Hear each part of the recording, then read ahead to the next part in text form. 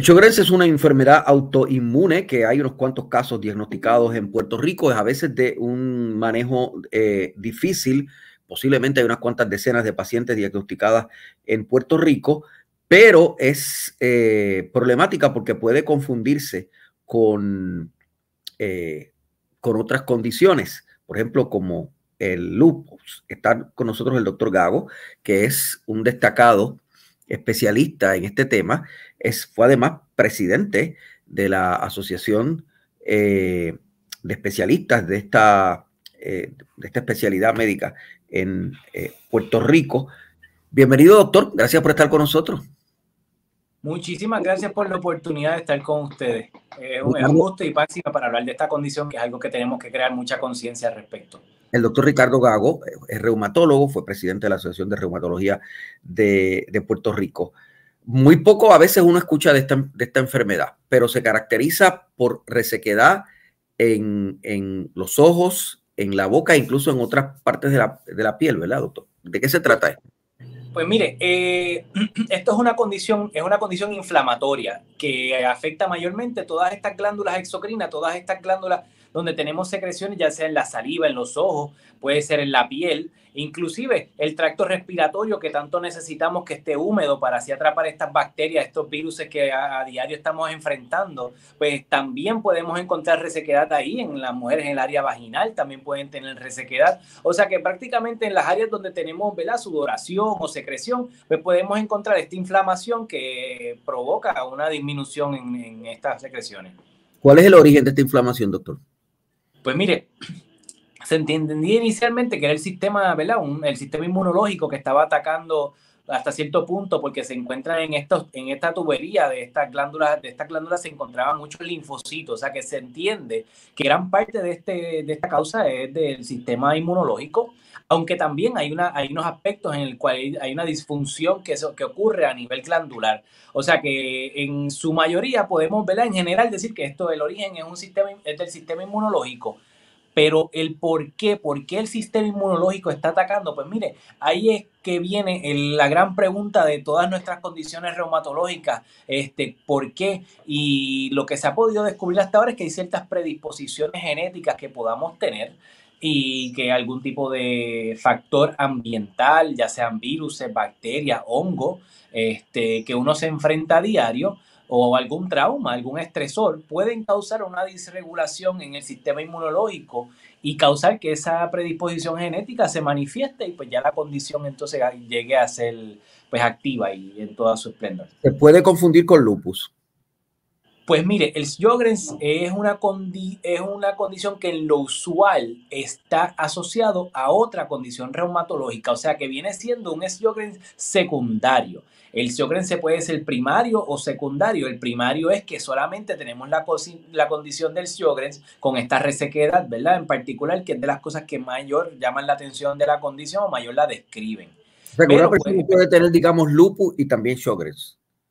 Eh, pero, pero no, honestamente no es que se puedan confundir, realmente quiero aclarar eso bien, es que más, bien es que pueden coexistir y es pues muy común que coexistan dentro de las enfermedades reumatológicas o de tejido inconectivo inflamatoria, la artritis reumatoidea y le sigue el lupus son de las más comunes que tenemos que están acompañadas de este síndrome de Sjögren's.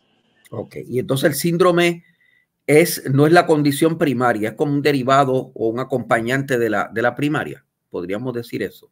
En el caso de los secundarios, sí, en el cual tenemos ¿verdad? esta resequedad este, en la boca y en los ojos, y pues muchas veces, pues entonces, pues estas condiciones primarias, como es la artritis reumatoidea, pues estaría acompañado de estas características inflamatorias que vemos en la artritis reumatoidea. Pero vale la, pena señalar, y ya que estamos entrando un poquito más profundo en el tema, eh, el Sjogren dentro de su sintomatología pudiese tener esto, estas molestias articulares y otras manifestaciones que llamamos manifestaciones extraglandulares, porque ¿verdad? están fuera de la, de la patología principal, que es la pálpula glandular, este, en la cual entonces pues nosotros eh, pudiesen solapar y por eso es tan difícil. Es, sumamente complicado poder diagnosticar esta condición en su fase primaria, porque parece, pues, pudiese enmascarar pues, por los dolores articulares, la fatiga, los cansancios. Estas sintomatologías que asocian a la condición, pues podría confundirse así con otras enfermedades, ¿verdad? Que, que, son más comunes. ¿Cuántos pacientes hay de, esta, de este síndrome en Puerto Rico? Pues mire, Exactamente la cantidad no le puedo decir porque no tenemos esa data. Sí se puede decir que entre 0.4 a 1% de la población puede tenerla. Y a mediados que seguimos propagando información al respecto, logramos identificarla más.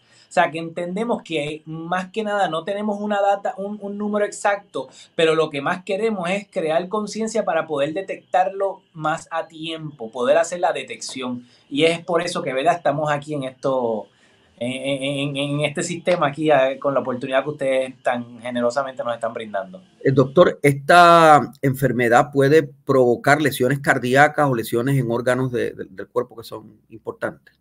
Pues mire, dentro de las manifestaciones extraglandulares, el pulmón viene siendo uno un poquito más común que el corazón, al igual que los ojos. Los ojos tienen resequedad en los ojos, pero también le puede dar una inflamaciones en distintas capas como uveitis.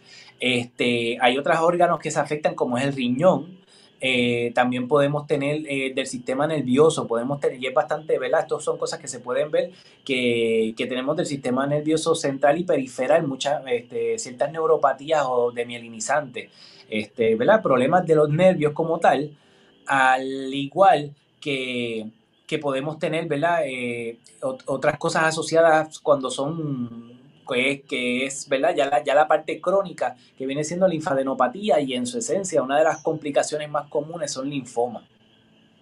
¿Puede asociarse con cáncer o puede degenerar en cáncer o puede llevar al cáncer esta condición? Pues mire, eh, no directamente se ha creado, pero sí se ha visto una asociación en cual hay una, o una mayor incidencia, más que nada una mayor incidencia en pacientes que tienden el Sjogren's y pacientes que desarrollan linfoma. O sea, que es algo que uno siempre está pendiente, pero no es que haya una relación directa de porque tienes una cosa vas a tener la otra. ¿Cómo se trata esta condición? ¿Qué se hace con un paciente con este síndrome?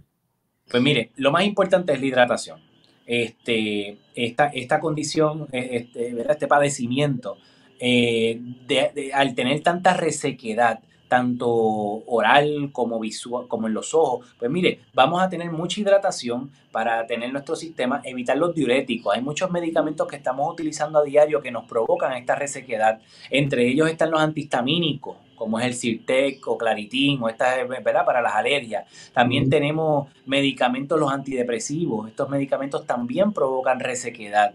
Tenemos también ciertos pues, medicamentos anticolinéricos o diuréticos que utilizamos mucho por presión alta. Los diuréticos aumentan esta resequedad. Y bien importante y que está muy de moda, oiga, el cannabis. El cannabis es un medicamento que dentro de sus efectos secundarios creará algo de resequedad oral y empeora significativamente los síntomas que tenemos del Sjogren's que dentro de todo, pues, ¿verdad? Eso, eso es uno de los factores, pero el tratamiento de hidratación luego de eso un estilo de vida saludable. El omega 3 se ha visto que es uno de los, ¿verdad? de los suplementos que pudiésemos utilizar que se ha visto que tiene algo de beneficio en, esto, en este aspecto de la resequedad. Al igual que los pacientes con nuestra saliva nos protege en nuestra boca, la flora bacteriana y de las caries y de muchas cosas. Al yo tener esta deficiencia en saliva, oiga, los problemas de encía, los problemas de caries y pérdidas de dientes es, es, bárbara, es bien, bien agresivo y puede, puede ser personas que pierden completamente la dentadura. Y se recomienda que, ¿verdad? Que, junto con el dentista estén topando, estén teniendo esos suplementos con fluoruro, en la cual hacen sus enjuagues y, y, y se, ¿verdad? se revesticen revisten los dientes con, con estos suplementos de fluoruro. Y ya entonces, en torno a los medicamentos inmunosupresores y tratamientos un poco más agresivos, pues depende mucho de la afección que tengamos a nivel de nuestros órganos. Si tienen afección de, eh, de las articulaciones con dolores articulares, si es en los pulmones que tenemos una afección pulmonar o como usted muy bien mencionó, en el corazón, en distintas áreas, pues mira, ahí está la agresividad que entonces intentamos otros medicamentos como es el metotrexate, como es el inmuran, como en algunos casos que se ha documentado hasta el rituximab este, puede ser utilizado en estos casos. ¿Hay alguna edad más común en que dé esto? O sea, da a gente más joven, a gente mayor o, eh, ¿cuál, es, ¿cuál es la edad? Pues mire, nuestra población en Puerto Rico también coincide con la población este, estadounidense, en la cual entre los 50 y los 60 años es cuando más común tenemos esta presentación de casos. Las mujeres por mucho sobrepasan a los hombres en la condición, prácticamente por cada nueve mujeres hay un hombre que lo detectan, este, pero de igual forma el comportamiento de la condición, del padecimiento, sí se ve afectado por la raza étnica el, afroamericano eh, tiene un poco más de empatía, el blanco que describen, ¿verdad? Americano, pues tiene un poquito más de, dolores musculares, musculoesqueletales. El latino eh, y en Puerto Rico también coincide que la fatiga y estos síntomas constitucionales de cansancio y, malestar generalizado es algo que predomina bastante en nuestra población. O sea que el Sjogren's se manifiesta eh, con cansancio entre los latinos, más que nada. Más que nada tiene mucho cansancio, ¿verdad? En adición a la resequedad marcada entre los ojos y la boca. Cuando nosotros utilizamos ciertas herramientas para medir la condición en la cual nosotros tenemos una puntuación de la, de la se ha visto que de, de las puntuaciones más altas existen entre la raza afroamericana eh, la raza hispana y entonces pues, pues, los puertorriqueños que hemos hecho estos estudios también coinciden. O sea que tenemos una resequedad marcada al igual que unos síntomas asociados que no necesariamente tienen que ser los mismos, pero sabemos o podemos entender que, esta, eh, que este padecimiento es, bastante eh, agresivo. ¿Este padecimiento puede provocar la muerte de alguien, doctor?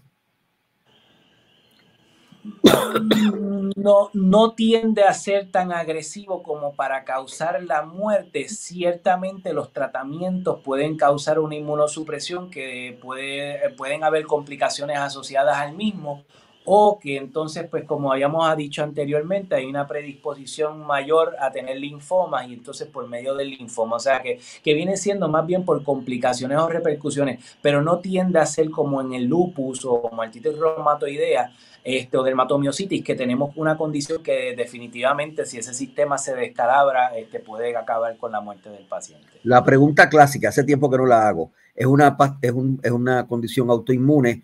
¿Los pacientes pueden vacunarse contra el COVID-19? Definitivamente, es algo de las cosas que más se, recomienda.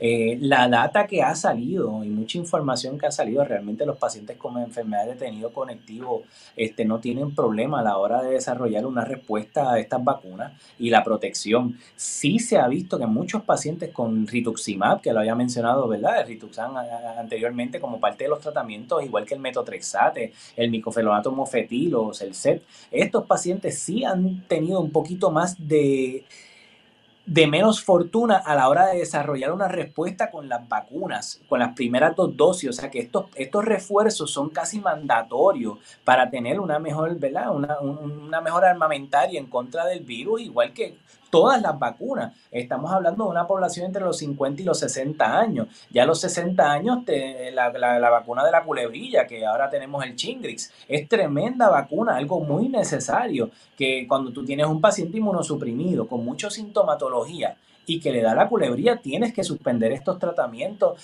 y, bueno, complican la situación muchísimo. Que teniendo la vacuna no es que nos va a dar, pero de la misma manera, la agresividad puede ser mucho menor. Oiga, esto es como el cinturón de seguridad en el carro, no, ciertamente no es que nos asegura que no nos va, o no nos asegura que nos va a salvar la vida, pero sí nos da una, un, pie de, adelanto bien marcado en tener mucho menos complicaciones de tener un accidente.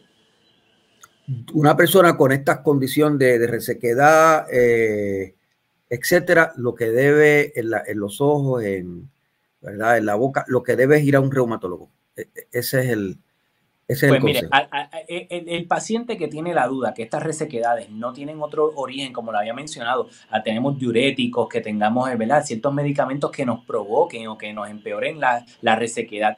Hay una resequedad natural de nuestro sistema que va a través del tiempo y que es que producimos menos porque nuestras glándulas y nuestra, ¿verdad? nuestro sistema produce un poco menos.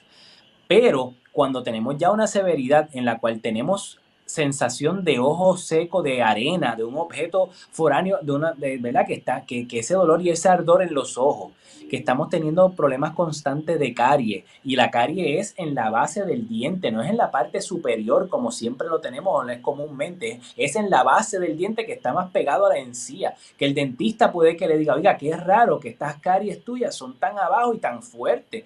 Es, todas estas son señales de que ya la resequedad es una resequedad más severa, una resequedad preocupante y sí se debe ver con un reumatólogo para poder atenderse pero a la misma vez les, les, exhorto que, oiga, la buena, buena salud oral con un dentista hay que tenerla, o sea, que no es que voy al, al reumatólogo y ya no, hay que mantener al equipo completo en, en, el, en el sistema, porque una, un, un, tratamiento que vaya específicamente a la condición no lo hay. Lo que tenemos es tratamientos para, con, para tratar de evitar o por lo menos reducir los síntomas o reducir las complicaciones asociadas al Sjögren's. Pero para yo evitar esta resequedad o ir directamente a ese sistema inmune, para evitar eso todavía no hemos logrado tener esa, e, e, esa efectividad.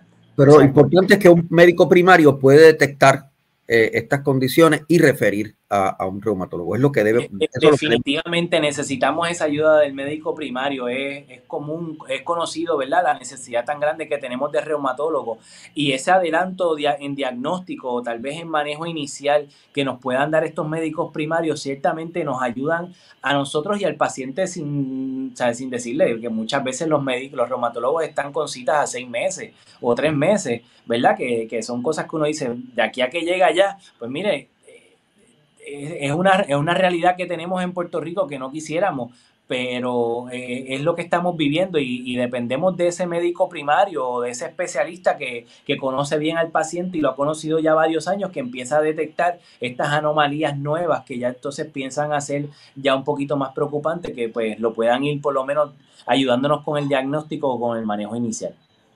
Gracias, doctor. Gracias por estar con nosotros. Oiga, ha sido un placer y nuevamente muy agradecido de esta gran oportunidad de poder llegar a todos sus, a todos sus fanaticadas. Gracias, doctor.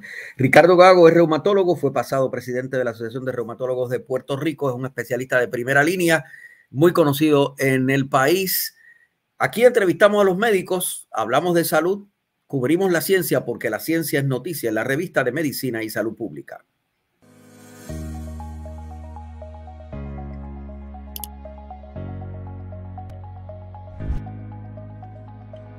Conéctate con lo más relevante para médicos, pacientes y profesionales de la salud en www.medicinaysaludpublica.com.